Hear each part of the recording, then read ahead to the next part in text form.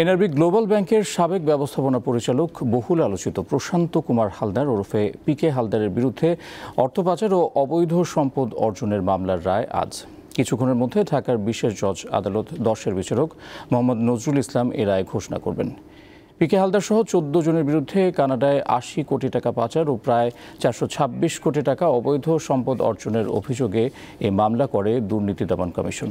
অর্থ পাচারের অভিযোগে গত বছর চোদ্দ মে ভারতের অশোকনগরে পিকে হালদার গ্রেফতার হন। এখনও তিনি সে দেশের কারাগারে রয়েছেন।